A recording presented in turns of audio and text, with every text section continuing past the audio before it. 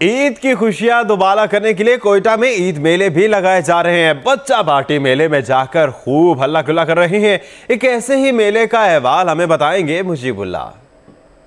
جی بالکل کوئٹہ میں بڑی عید کی بڑی خوشیاں عروج پر پہنچ چکی ہے۔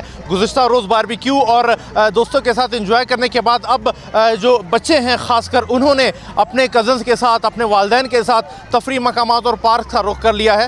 اس وقت میں جوائنٹ روڈ پر ایک ایسی میلے میں اور تفریح مقام میں موجود ہوں، جہاں پر بچوں کا خاصا رش دکھائی دے رہا ہے۔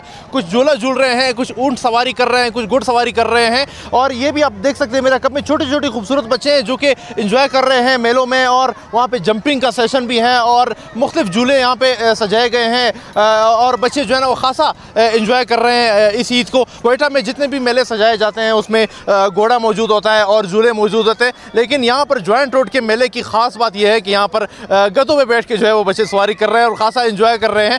ان کے والدین کا یہ کہنا تھا کہ بچے خاصا افسردہ تھے قربانی کے جانور ان سے بچھڑا۔ اس کے بعد جو ان کی جو اٹیچمنٹ تھی، ان کے ساتھ وہ چلی گئی، جس پر ہم انہیں یہاں پر لے آئے ہیں۔ عید کے اس پر مسرت موقع پر جو خوشیاں سمیٹتے ہیں، وہ ہوتے ہی بچوں کی ہے اور ان کی خوشی جو ہے وہ دیدنی ہے۔ جی۔